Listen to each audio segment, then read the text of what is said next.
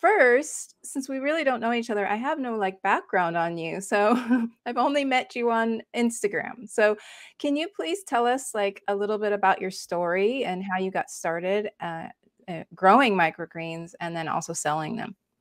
Yeah, I would love to. It's nice to actually get to chat with you also. I feel the same. Like I know you from Instagram and other things, but um, haven't actually gotten to chat with you. So this is yeah. great. I appreciate it. Uh, uh, so my story basically, um, I got into growing microgreens not to start a business, really. I was working as a registered nurse. That's my background is in traditional healthcare, working in the hospital, uh, at the bedside, working as a nurse. I uh, had my second baby and started really struggling with going to the hospital and being away from my uh, toddler, 18 month old, and my very new baby. Uh, it just, it was a struggle. Um, for anyone who has become a parent, you find it radically shifts your priorities in your life, or at least it did for me.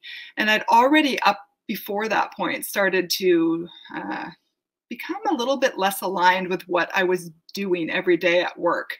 Uh, and that became harder and harder. And then when I had kids, being away from them um, and not being able to be present and just being worn out, exhausted. I am an introvert, so I'd use up kind of all of my energy with my patients and my coworkers at work and come home and just be wiped. And then I just got really tired of that. And I got really down. I got really um, just struggling, feeling really low, thinking this should be such a happy time in my life. I have these beautiful new children, and um, I'm this mom always wanted to have this life and yet I'm not happy. And so I tried to think of things that made me happy. And um, I used to love to grow things and I'd kind of let go of that because life was so busy with these long shifts and just other things. Uh, and I tried to do a garden and I failed completely because I was exhausted. Um, and it's really hard to do anything with an infant and a toddler. If you've been in that situation, um, I think you would agree. And so I really felt down about that. And then I found out about microgreens and was like, maybe I could do this. This looks doable. This is little, this is small. Uh, and so I started with these little windowsill pots. My toddler helped me. We filled them with soil, sprinkle seeds. And I loved it. It was so therapeutic for me to get into growing and something that I could see the results. So I did it kind of thinking, oh, my son will love it and maybe it'll get him eating greens. But I'm the, I mean, he did like it, but I loved it. It, it it captivated me to watch and have these greens in my home environment. I grew them in my house on my windowsill and I started to grow more and more. I scaled up into starting to grow into trays and then I had lots of microgreens pounds and pounds of microgreens for my family and giving them away. And so I thought maybe I could sell these. You know, I'm watching YouTube videos and I'm learning. And I found one local restaurant and they started buying microgreens for me from me. So that's how it started. It was very much a side hustle, right? I was still working. Mm-hmm. Uh, but it actually energized me to add this thing that I loved to my life uh, which was growing nutritious food. Uh, and mm. that really helped kind of continue to shift me into more um, holistic thinking as far as being aware of how important. I mean, I saw evidence of it in working at the hospital, how mm-hmm. Western medicine is very geared towards attacking disease, right? Fighting off disease. Mm-hmm. Um, and what I really longed for was putting my efforts into building wellness in our bodies and recognizing how amazing our bodies. I looked at my my beautiful children's little bodies and just mm-hmm. how amazing and full of life they are and how strong and resilient and thought um, how much I want to just invest in in that in wellness and and mm-hmm. starting with the very basics of what we're eating and microgreens are incredible if you don't if you're not familiar yeah. with microgreens uh, when we're talking about microgreens, basically yeah. a stage of a plant's life, right? So okay. this is the stage after sprouts. They're, mm-hmm. they're, little seedlings, and this is when they're really concentrated with nutrition. They're also really flavorful and delicious, and, mm-hmm. and all of that. So they are. Um, the, the research is coming out, and uh, this just gets me really excited because yeah. the um, the vitamins, the minerals, the phytonutrients that we're finding out is they're so concentrated in these little greens that it is a huge benefit to eating them. And as people are learning about this and they're seeing it, um, the dem demand for microgreens is really increasing, which mm-hmm. uh, is exciting because it allows us as small growers to have an impact on our communities by providing local fresh greens. I can grow these year round. Mm-hmm. Uh, and so it's really a rewarding uh, enterprise. And I've just seen the demand increase uh, incredibly over the last uh, few years. So I know that was awesome. a lot. No, no, that's good. I, uh, no, I'm I love your story because that's actually a lot of gardeners and homesteaders start off like, well, I needed to change my health, or or I I needed something different in my life. I needed not to be so overwhelmed with life, and I needed to you know simplify. And you, you know, homesteaders and gardeners kind of that's why they you know go that direction and then they find out how much the health part comes after that like their emotional health your physical health just comes from this. Um, i was going to ask you what exactly a microgreen is because there is a chance that people who are listening to either the podcast or in the uh, homestead income plan group where we're streaming live right now um, uh, might want to know what exactly a microgreen is. So if you could just go back a little bit and tell us what exactly a microgreen is and and also because I've I've done a little bit of research on this and I know that they have more nutrients than their adult version and mm-hmm. why that is is kind of like I don't understand why that is. so if you could explain that as well. Sure. Yeah. Yeah, it's a great question. And if you are unclear about it, don't feel silly at all because it's mm-hmm. the norm. Even I live somewhere where microgreens are pretty prevalent, and still I find a lot of people don't really understand mm-hmm. um, what microgreens are. So there's a lot of confusion about sprouts and microgreens. Um, so sprouts are germinated seed, right? They're just they're sprouted seed. They're usually uh, grown. Maybe you've done them on your counter in a jar, usually in a very wet, dark environment. It allows that seed to germinate, and then you eat that seed, uh, the the little germinated sprout and the roots. You eat it all. Very nutritious. Um, doing that on your in your on a home scale for yourself is great if you are um, looking about looking into actually selling sprouts, you will find that there's a lot of regulations. These are uh, considered a high risk food when you start scaling up the operation. What I loved about microgreens is microgreens are mm. different than sprouts. Microgreens are the next stage mm. in a plant's life. So almost any edible uh, vegetable uh, herb can be grown as a microgreen. It just means you are harvesting it when it is a seedling, when the cotyledon leaves have come out, those first seed leaves, and the true leaf, that center leaf, is just starting to emerge. Now, it depends a little bit on varieties. For me, most of my microgreens are harvested 10 days after I plant them. Hmm. So they, it's very, they're very, very young.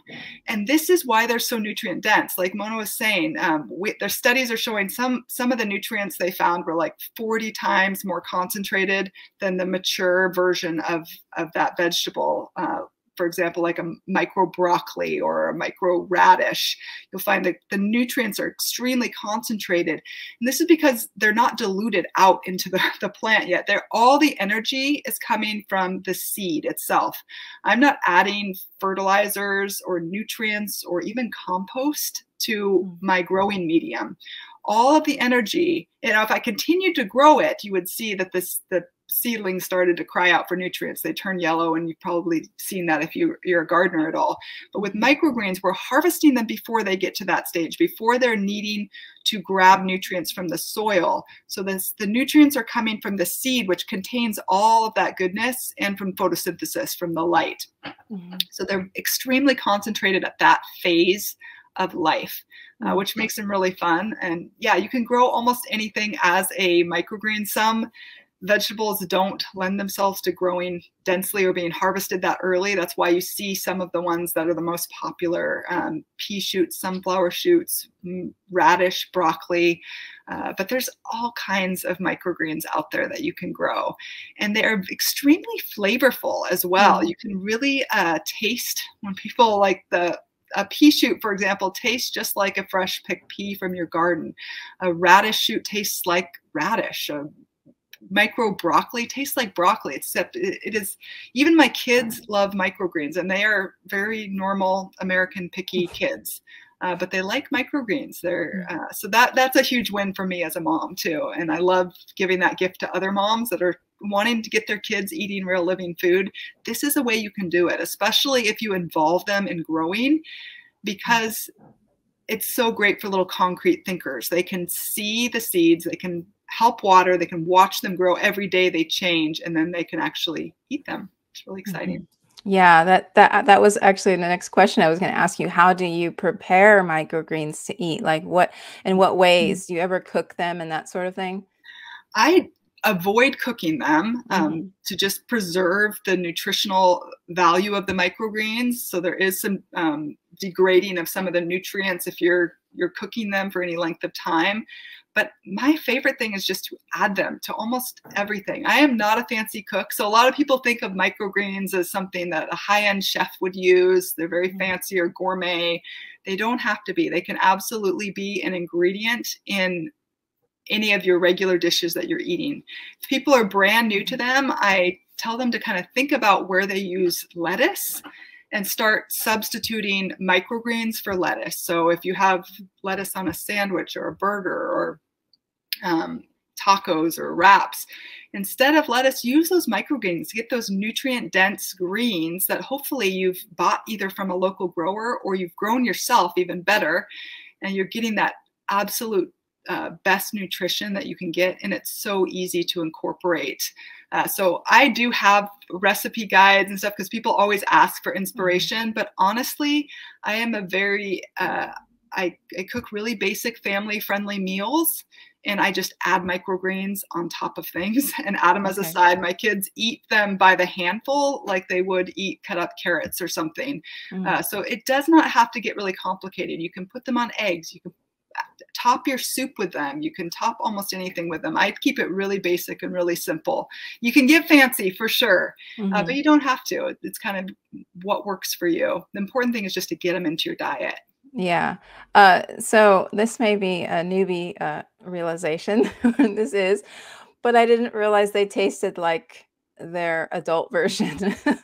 I was just in my mind because I don't think I've ever had like true microgreens. I've had like like uh, young lettuce and young mm-hmm. things, but not true microgreens. And I just assumed it was just like lettuce, like it would taste like lettuce or something. So I need to start. And and um, so that that will that's lead us to the next question, which is um, how long does it take to like set up a microgreen system and like what are the supplies that you need if you're just like someone like me who just wants to do it for the family and not necessarily a business yeah, you could probably do it this afternoon. It would mm. probably take you 15 minutes. Wow. It doesn't. It's not. It doesn't have to be complicated or fancy.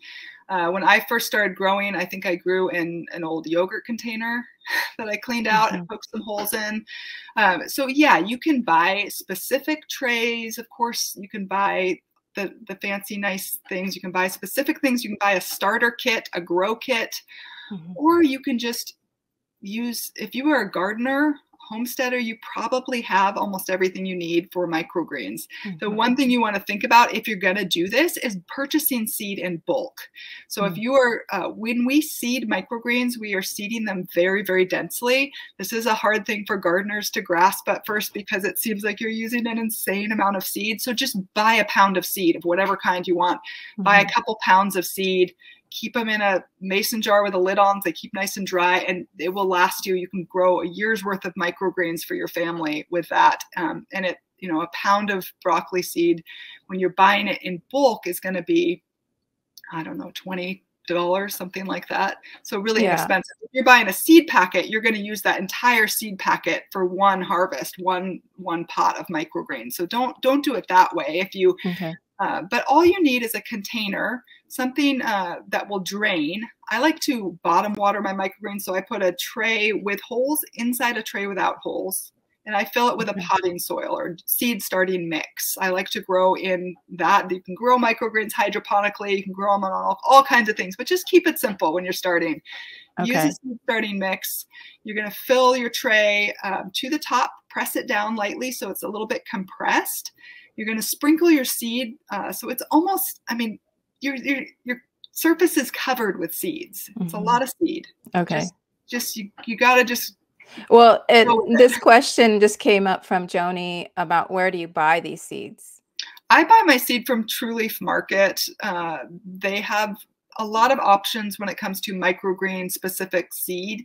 You can grow other seed, you know, just like a package of broccoli seed as broccoli microgreens, but certain varieties lend themselves better to microgreens. So if you buy seed that's marketed as microgreen seed, you're going to have more success with it, growing it mm-hmm. in the density that you're growing it. So True Leaf Market offers a lot of varieties of organic, non-GMO, microgreen seed. And when you buy it in bulk, it really is a low cost uh, way of getting really nutritious greens into your diet. Uh, investing in a pound of seed is such a great thing. When I was growing my little windowsill pots, that was kind of the size of a of a yogurt container, I used about a teaspoon of seed uh, per pot. Okay. And so a, a, pound of seed will last a long time when you're doing that. And it will grow, and you will grow um, about a cup or two, depending on the variety of harvested microgreens. And remember, these are very mm-hmm. dense. So even just a small amount on everyone's meal is going to help provide extra nutrients. It also just gives you kind of that freshness. And if you are looking for a way that you can start growing food, this is a way that is probably the easiest, simplest, fastest way that you can start doing it year round right in your home and and it just connects you. Even that little bit connects you to something living that you are growing. I let my kids snip off their own microgreens and add them to their plates and it's really rewarding uh, to do that way. So true leaf market is where i buy most of my seed. Okay. Awesome. Yeah you're, you're making me want to just go and get some of my seeds and um, i actually have very uh, large front windows and i was thinking of just putting a uh, you know, a shelf up there, and I was like, I could probably grow stuff all year round because they're very large uh, front windows. Is that something like that would be a good setup for for something like this? Yeah, that's how I started growing. I used to mm-hmm. have to just turn my pots, uh, you know, when I walked by and saw them all kind of leaning like they'll do. Mm-hmm. Um, I would just give them a turn. So I mm-hmm. cover them after I sprinkle the seed. I spritz them with water so that they're wet. I cover them with something and I actually either put a rubber band holding that down or put some kind of weight, whether you're putting a can of soup or uh, a book or something to press a lid down on that uh, on those seeds. It creates that nice moist environment and so they will all germinate together at the same rate. Mm. um, after about three days i'm going to take that lid off and then just expose them to light and let them grow. And in about 10 days they're ready to harvest. It's really mm. that easy. You're watering them every day either bottom watering them if you're putting them in a tray or just gently pouring a little water around the soil surface down on the edge. And it's really simple. You will see mm. once you start doing it uh, how simple it is. Yeah. That's something I, have said recent uh, like last year I did a reel or something. I said, growing food is not complicated. like food wants to, things want to grow. We just have yeah. to give it the nice bed and the nice space that it needs, and then it will grow. It's not really that complicated. I mean, you can make it complicated, but it doesn't have to be. So this sounds like like the foolproof way. yeah, you learn so quick because they grow so quick. So even mm-hmm. if you do mm-hmm. something wrong, just replant grow mm-hmm. again you know you can after growing a couple cycles, you will quickly figure it out. Um, mm-hmm. Um, and so it's it's really satisfying. Uh, gardening sometimes, you know, you have to wait a whole nother season to try something if you realize something didn't work. Mm-hmm. With microgreens, just a week and you can yeah. start again. So you can learn very, very quickly. That's awesome. Well, thank you for giving us that little bit of uh, information. Um, we now we're going to move into i mean you gave us a lot of information. I don't want to make that sound like you gave us a little you gave us a lot of information in a short amount of time but i wanted to make sure that we're asking the business questions because that's what this group is about. So um what are like the you, you said the basic supplies to get started for home use but yeah. in a business sense what would you what would somebody want to start with yeah, if you're going to shift into growing microgreens for profit, I recommend uh, if you don't have space to grow horizontally, like you don't have a greenhouse or something like this, grow vertically. Microgreens do really well when grown vertically. What I mean by that is you just purchase a shelving unit. So you have a rack uh, and I I teach how to do this. I, it's hard for me to do it here because I, um, but I have a lot of videos that will show you exactly how to do this. Mm -hmm. So you're going to purchase a rack and actually put grow lights on each shelf. Uh, my racks hold four trays per shelf. So you can grow about 20 trays, depending on how many shelves your rack has, uh, per rack, which is four feet wide. So it does not take up a lot of room. You can put this in a spare room or you know in your garage or in a shed or i had a little one in my kitchen first and then i moved it we have a little storage room i cleared out some space and i put it there and that's why i first started growing for my first restaurant so i had one order $200 a week but i mean it took me maybe I don't know, three or four hours a week to grow that. So it was very low uh, amount of time, which was perfect for me. 10 minutes a day to kind of water and check on my microgreens because uh, there's not a lot of work. The, the main mm-hmm. work is harvesting and packaging. That's your, your biggest labor uh, piece. Seeding is pretty quick. You're going to stack those trays, let them sit for three to four days. You're going to unstack them under your grow lights on your shelves, and you're going to water them once a day. That mm-hmm. takes a few minutes. Uh, when it comes to harvest, you're going to harvest and package that depending on who your customer is. And um, it's it's really doable. The people mm-hmm. what I always recommend if you want to do this is keep it really simple in the beginning. Choose a few basic varieties that there is already a demand for. Uh, once you start getting in YouTube, you'll see there's all these different kinds of microgreens that people are growing. I recommend my top sellers and what I sell 85% of my business are three varieties of microgreens, all super easy to grow. Pea mm-hmm. shoots, radish shoots, and micro broccoli. Those are my three mm-hmm. top sellers. I've grown, I don't know, 60 different varieties, but those are the three that I make the most money from. They are the most consistent growers. They're easy to grow and there's a demand for them.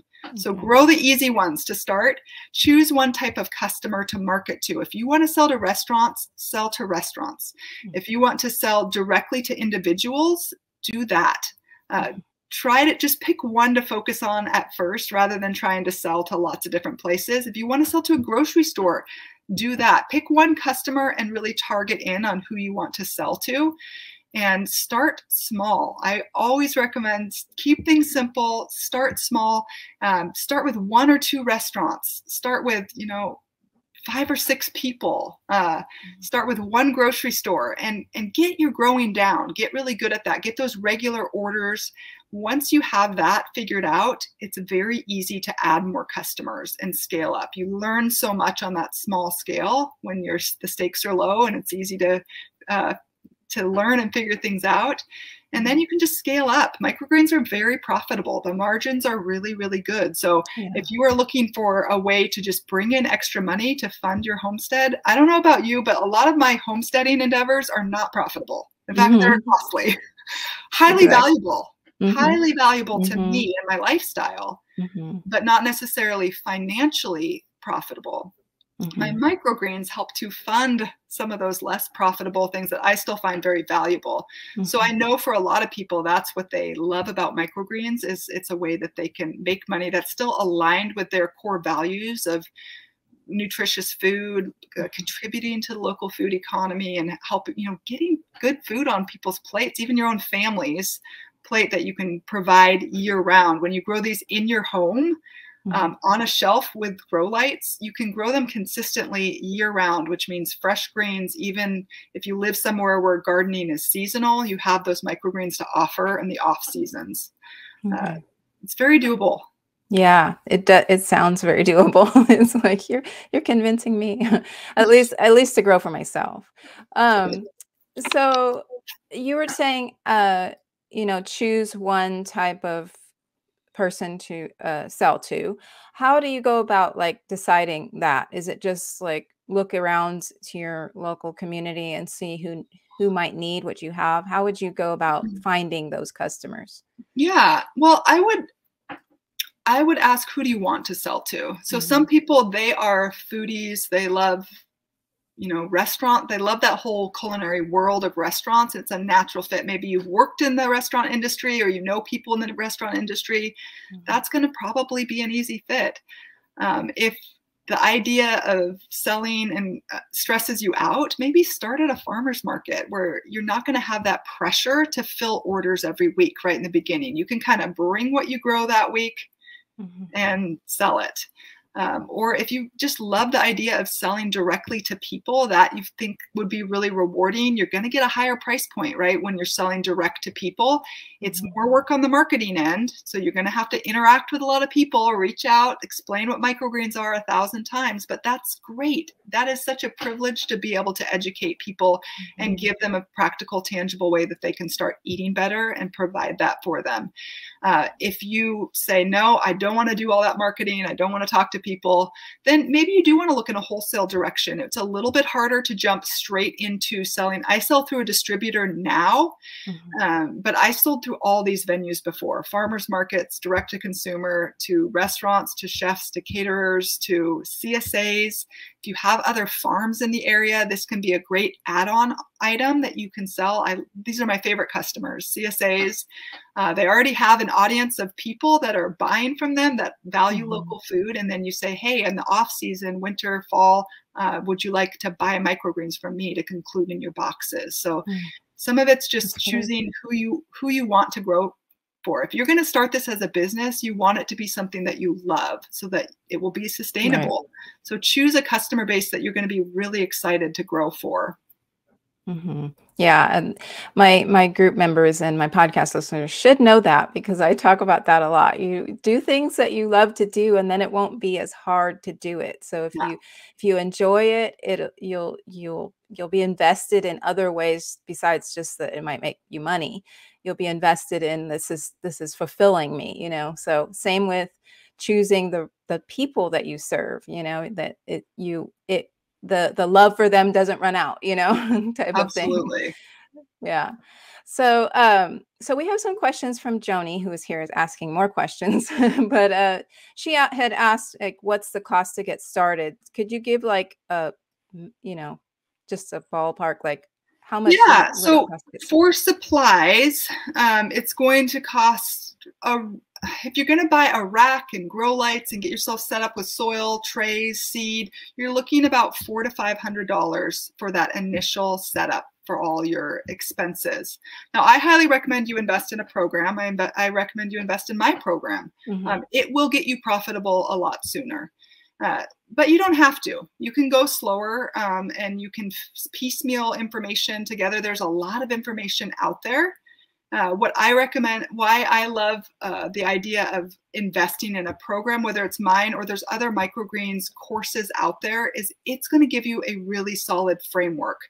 Um, people, I've just worked with a lot of people who easily get um, conflicting information. They get discouraged because things aren't working and they give up. So maybe they buy their supplies, they're trying to figure out how to do it, it's not working, and they give up. And that always makes me sad. Some of them mm-hmm. come into my program and I'm so happy because all they need is that framework to follow and someone consistent that they can go to to ask questions. Mm-hmm. So my program, we meet together. I just got off the call. We meet together every week and go over questions. So everyone's kind of learning at their own pace with pre-recorded content where I walk you through here's how you set up your business, here's how you grow, here's how you market, here's how you sell, all those basic steps. And you can go back and kind of work through them at your own pace.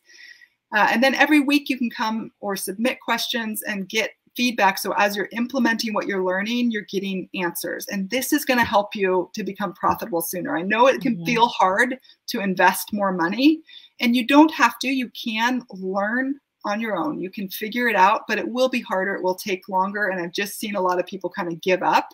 Mm-hmm. Um, because they don't have that ongoing support. It, it, can be hard, especially if you've never had a business before. You, a lot of people, maybe you're not getting people who are, seem interested and you just can mm-hmm. start to doubt yourself so having a community around you who's saying yeah we're all, we, we get it here's what i tried or maybe you're having issues with your growing to have someone you can go through and say let's troubleshoot. Let's look at this this and this and see what's going on. So initial supplies for four to five hundred dollars. Uh, I recommend you invest in a program that is going to teach you and give you the guidance that you need and the consistent uh, framework of information to follow so that you can start making sales so much quicker. Yeah, I totally agree with you on that because you can waste, you're actually wasting money by not just getting the education by somebody, you know, somebody who knows what they're doing. You're actually wasting money because your time is money and you could be possibly like investing in this and that. And then all of a sudden you realize you're paying as much as you would have if you just invested in initially. So I highly recommend it. And so this is a good way, this is a good time to share what it is that you offer and where to find that. And then, and then we're going to go and ask the last couple questions that Joni had. We're going to. Okay. Uh, yeah. So my, uh, my program is only open through the end of the month right now, and then it'll be open again in um, January.